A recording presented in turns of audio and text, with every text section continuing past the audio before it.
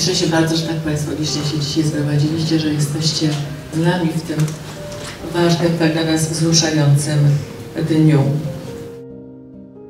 E, Fundacja Kromka Chleba to wielkie dzieło, to dar i to już dzisiaj symbol. Ale też myślę e, zobowiązanie dla nas wszystkich, bo przecież my powinniśmy to e, wspierać Dziękuję za zaproszenie, dziękuję za zaufanie. Myślę, że ta odwaga i zaufanie no, spowodowało to, że mamy taką aplicę, a nie inną. No i gratuluję.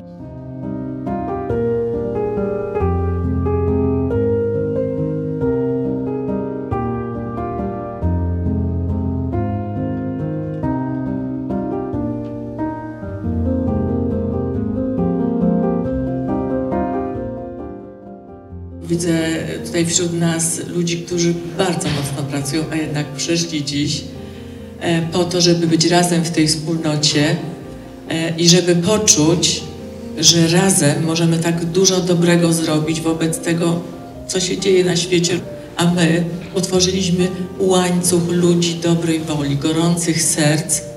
I po prostu dziękuję za to, że, że Państwo no, zaufaliście mi, naprawdę, no, że zaufaliście i że pomagaliście.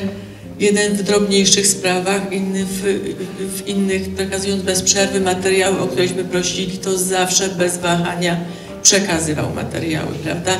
Inny zawsze przyszedł, pomógł.